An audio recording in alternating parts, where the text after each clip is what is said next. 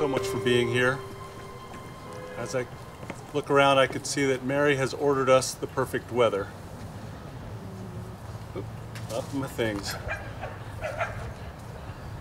While we'll have plenty of time to reminisce afterward, we're going to take a few minutes celebrating an amazing life. Mary was such a big part of everyone here in Kill Devil Hills, especially here around the town. And um, she worked on more projects than I could possibly mention, and hearing the barking in the background is al- almost on point. That's the audio cue. Um, this whole park was really a, a big part of uh, something she always wanted to do. She cares about all creatures, all animals, all people, especially the pups. And uh, in case you had not heard, the other exciting part about today is that we are renaming the park Mary's Paws Park. So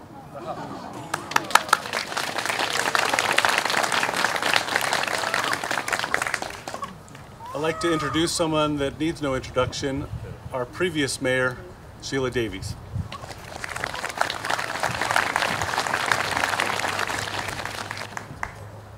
Thank you. Can you all hear me okay in the back? Somewhat. Um, first off, I just want to say um, what an honor it is to be asked to speak today and share some remembrances of Mary.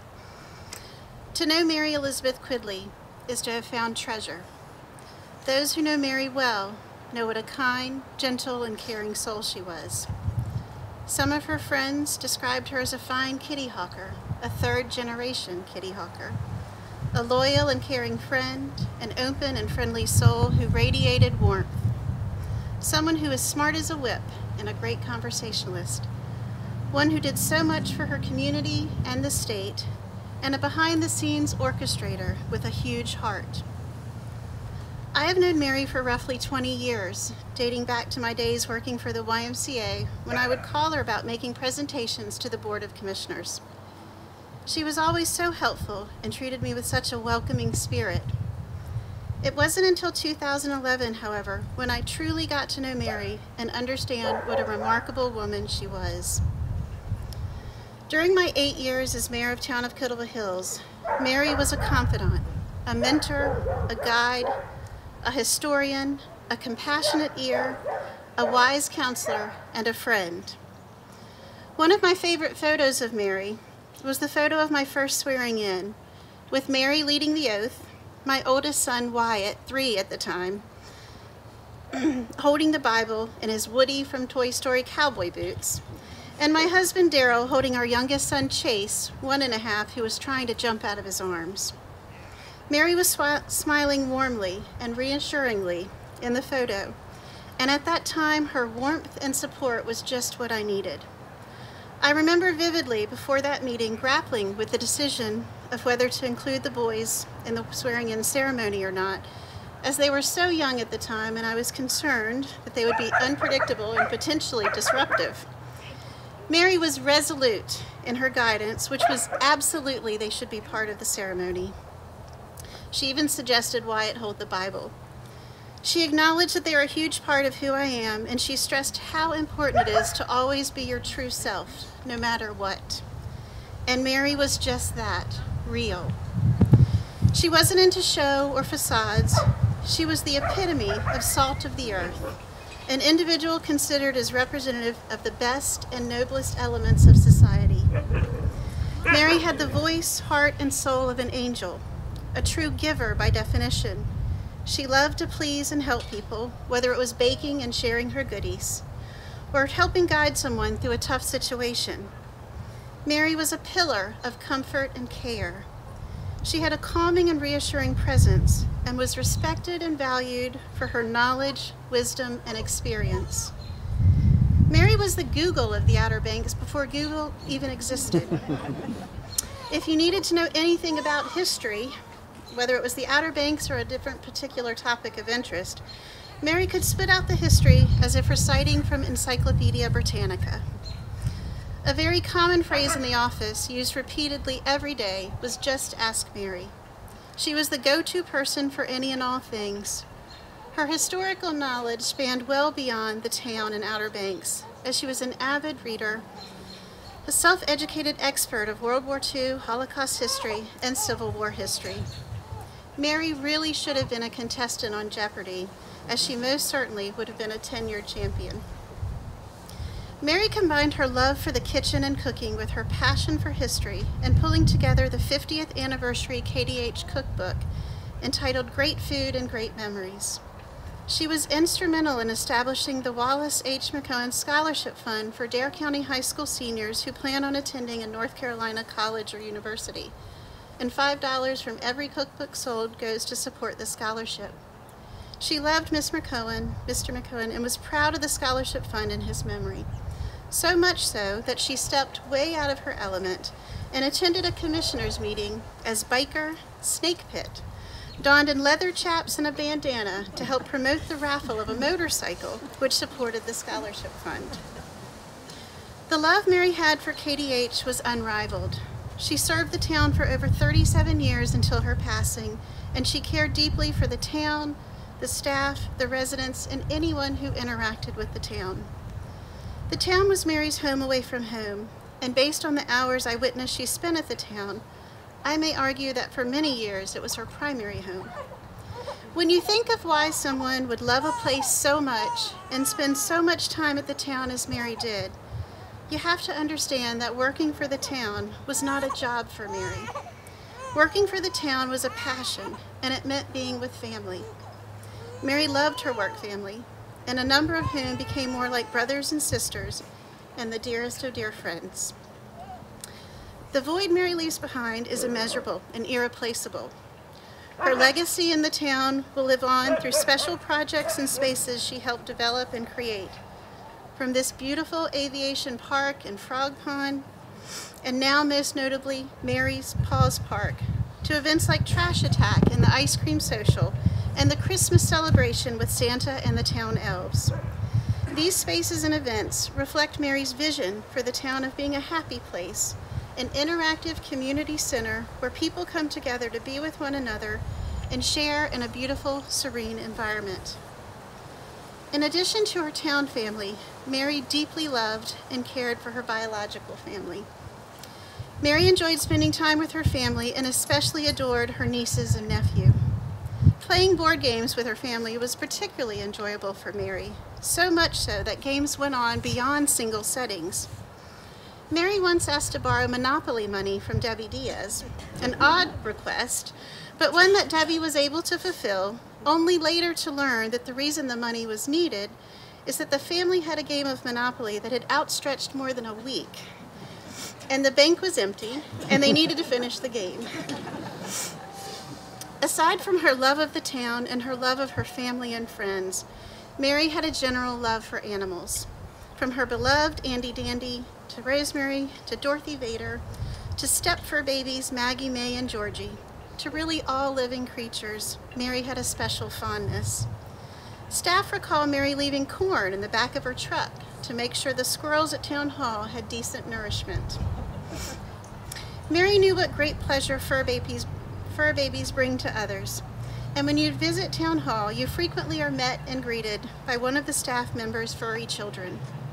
It makes visiting the town feel very homey and welcoming, just as Mary desired. While words are ultimately inadequate to describe Mary and how she touched each of us in this wonderful place we live, I do know Mary would not want us to suffer in grief or sadness. In the spirit of Mary's gentleness, kindness, and comforting approach, she would ask that we move on as best as possible, cherishing our memories and using them to find peace. Sadly, there are many unchecked to-do boxes with the untimeliness of Mary's passing but I feel certain Mary would want those plans to proceed. Carol, I hope you will make that trip to Paris. Mary will be with you, just in a different vantage point. And Debbie, go see Wicked in New York and know that Mary will be soaking it all in. All of us need to use Mary's love and tender soul as inspiration to do for ourselves and for others and to give to our communities. A passage from Ecclesiastes describes well the depth and breadth of Mary's friendship. It reads, A loyal friend is something beyond price. There is no measuring, excuse me, a loyal friend is is a powerful defense. Whoever finds one has indeed found a treasure. A loyal friend is something beyond price. There is no measuring its worth. A loyal friend is the elixir of life. Thank you, Mary, for being the extraordinary person you were. Thank you for the gifts and treasure you have given all of us. Thank you for being a loyal friend and enriching our lives. Your legacy lives, lives on in those around you and in the lasting contributions you have made to the town and our community. Many aspire to leave the world a better place, and Mary, you did just that. Your life and friendship is truly an elixir of life for all of us. God bless.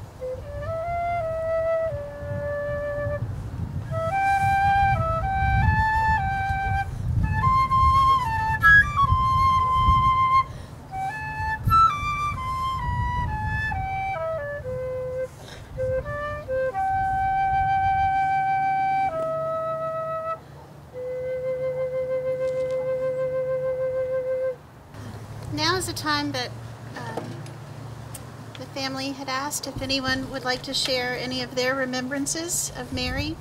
We encourage you to do so, either from where you're standing or if you want to come up here, that would be great. Um, in addition to that, you may have noted there are cards on the table um, that if you have a special memory that you would like to jot down, we are collecting these to give to the family um, sometime next week. So, but we welcome people to share their remembrances, please.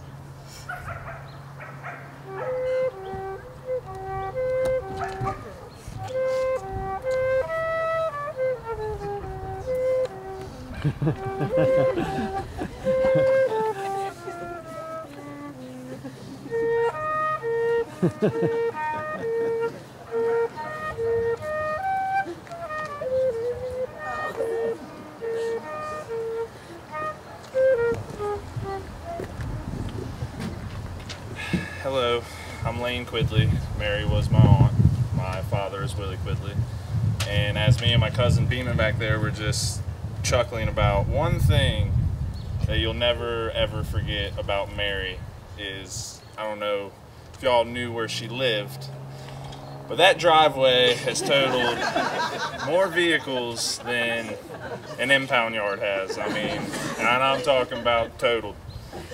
I forget, it's probably been, I don't know, a long time ago, but somebody had just got a vehicle and they went down that thing and oh my gosh, you had if you knew what you were doing, you might as well back into it so you can pull out because there was no backing out of that thing. It was just dangerous. That's all it was. But Aunt Mary was my aunt and I love her truly and I know that she'll look over everybody and she thanks everybody for coming out here and uh, that's all I wanted to say. I love Aunt Mary and uh, rest in peace. Thank you.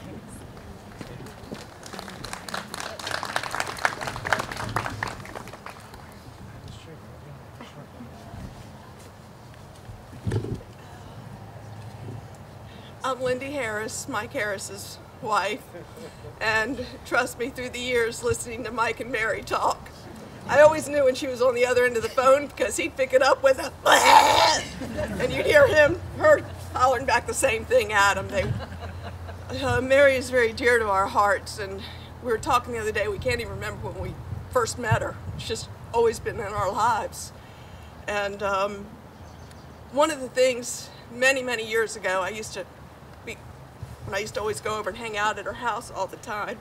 We'd make some homemade hot chocolate and sit by the fireplace.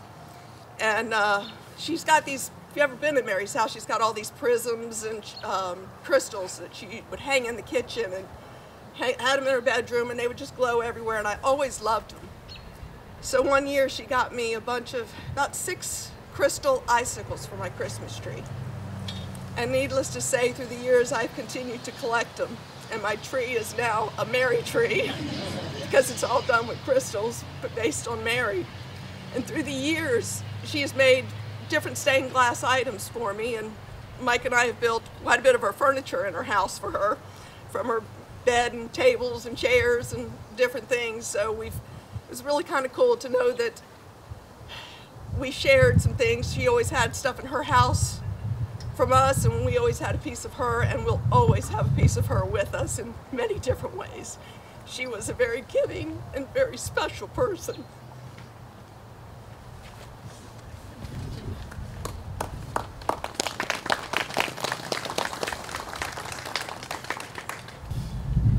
I'm Greg Loy, and that's Mike Harris right there. His better half did speak. Um, I guess I've known Mary since second grade. Back a long ways, and uh, she taught me a lot working for the town, uh, and uh, a lot of interpersonal relationships we shared. Um, I think Randy Metzger was uh, around here somewhere, and he was going, maybe I should say something about the way we carried on at our board meetings. And uh, before our board meetings, rather, well, at our board meetings, but used to be we'd have an agenda team meeting. Uh, Debbie, you still have that, don't you? Oh, okay. So that's when all the department heads get together and they and they hash out everything that's going to be said at the meeting and uh, and try to bulletproof, you know, um, the way things are going to go. Well, some, it, believe it or not, sometimes Mary was strongly opinionated about things. if anybody knows that, and, and, if anybody knows me, sometimes they might say the same. So uh, Mary and I would always have a lot of fun. And uh, let me see, Mary, Mary Elizabeth Quidley, McHugh, uh, Proud Mary, Sweet Mary, uh, one of my best friends uh, in the town, and uh, we love her, and I know everybody else does here, and we'll be missed. I mean, that's that's all there is to it. I mean, felt like she's always there for me, and she is. So, God bless you, Mary. Thank you.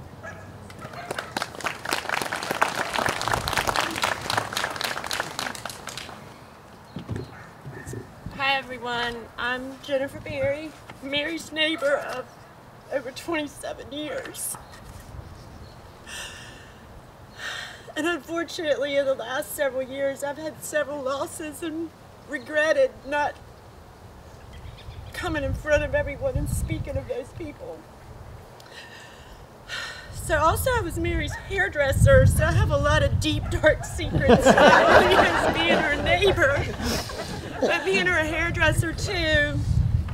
And there's a couple stories not long after my husband Carl and I moved in one morning I was fixing my hair to go to work and my blow dryer just quit working. I said, would you run next door and ask our new neighbor Mary if I could borrow her blow dryer? sure. I don't own a blow dryer. so I said, Well, what do you do? And I would see her in the morning because the way her house set, she'd come down the steps, hair all over the place, get in the truck, and that's when she'd comb her hair. Should I just stick my head out the window? so you know, talk about Mary's board meetings. You know, we always, my husband and I, Carl, have talked about our properties were more like one property. We knew Mary's every move. She knew our every move. I always knew first Wednesday of every month was the board meeting. She was going to be home late. And then there's the other thing I think about when I think about Mary. She loved to cut grass. and every time she started that lawnmower, my husband would say, okay, any moment it's gonna stop and I'm gonna have to go do something. Because I think she had it as low as she could get it to the ground. Rocks flying everywhere. And Carl would call her the marinator. It's on her lawnmower. But we didn't ever tell Mary not to cut our grass. we just, you had to do a few ducks every once in a while from rocks. And thanks for letting me have this time because I feel so blessed to have had her in my life as long as I did. And she was an amazing woman that I could, anytime there was something on my mind and I knew I needed to talk to somebody, she was the one. She might not always tell me what I wanted to hear, but she always told me right. So I encourage every one of you, if you can't stand up here and speak about her this afternoon, please just write something down so you won't have a regret.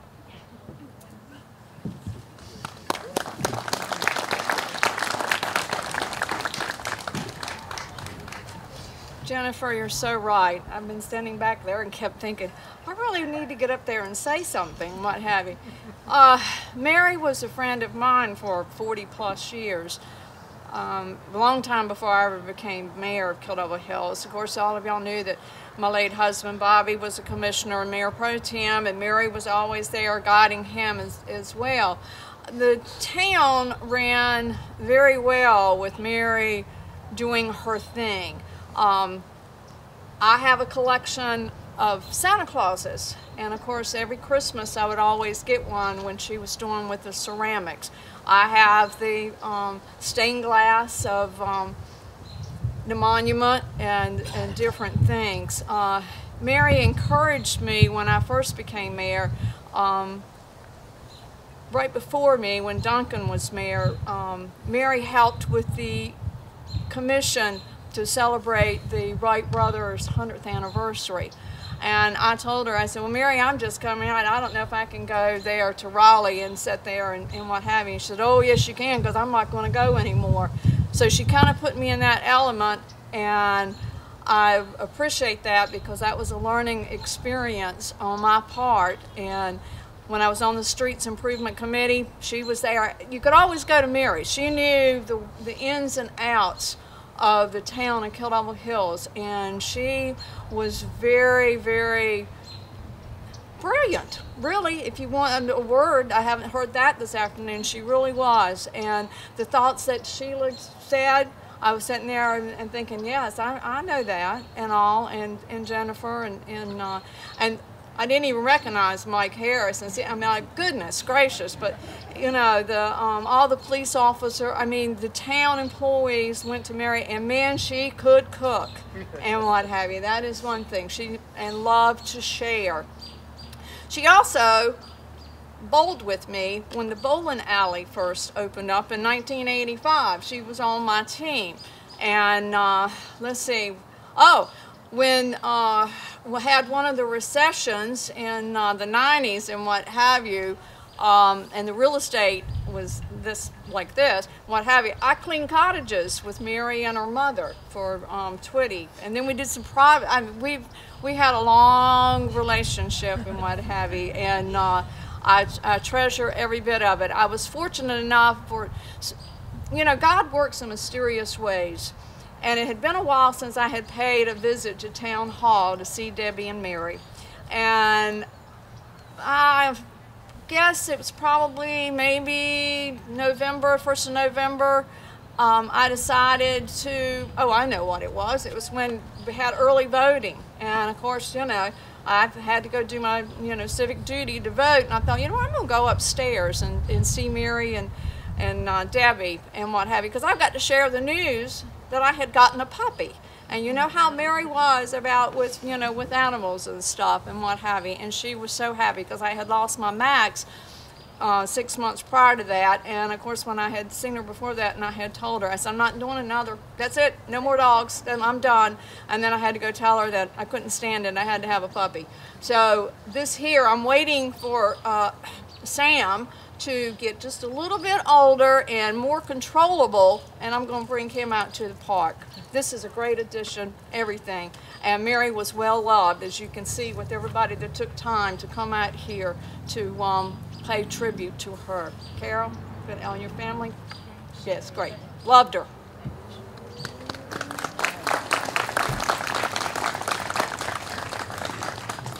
With me, I'm not a public speaker. I'm very shy. But Mary is my second cousin, and she is part of my childhood. My mother and her grandmother were sisters. So we would come in the summers and spend time with them. We lived about three hours away. We'd come and spend summers and I have a photograph. My dad used to take a lot of photos and I have a photograph that I adore and it's of us crammed on a swing, a porch swing at your home place. And I think it was me and Susan and Willie and probably Gracie and I know Ellen and, and Mary were there too.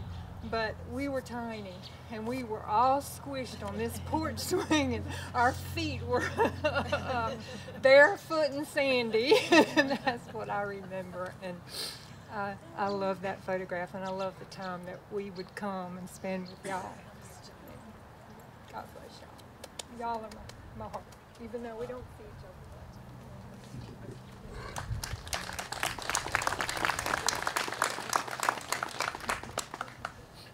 So Mary's neighbor just made me feel like I don't want to regret not speaking because I've been with the town for 25 years. Um, Greg Loy hired me. I worked beside him, knew Mary and Greg's relationship very well, and it was it was it was a love love hate relationship. It, that that's the order: love, love, hate. But um, and Greg drugged me to every meeting just to teach me how, the town. And I walk into my first meeting, and in comes Mary, and I said, and everybody's talking and talking and talking, and Mary goes, "All right now," and it was silent, and I said. I got to get to know this one. she's got she's got something that I want at the ripe old age of 22. I wanted I wanted to be able to walk into a room 25 years from now and be like, all right now, and everybody go, that's it. In my time, not only was she my mentor, but she became a really good friend of mine. I'm gonna ask you to look at the music stand. Um, that was my daughter, and when she started middle school, it was a hard transition. And Mary had basically stopped doing stained glass. And she came to me one day and she just said, honey, I made this for, for Sydney. It's a symbol of strength and tell her to hang it in her window and every morning look at it and remind her to be strong. And it'll be fine. And every time I went and sat in Mary's office, whether it was for work or my therapy session, um, she'd look at me, she'd go, Sugar, it's gonna be fine. And so, Mary, we're going to be fine. Love you.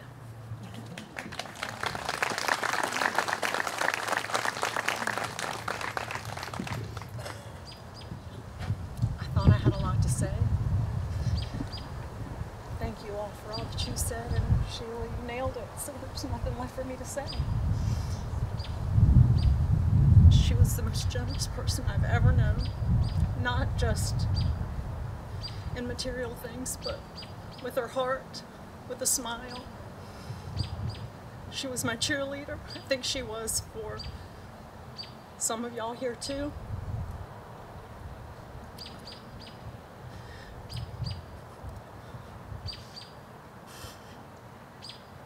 The best sister the best all. Loving, kind, everything that Sheila said, and that I know that so many of y'all out there know about her because you experienced it. So thank you all for being here. You honor us.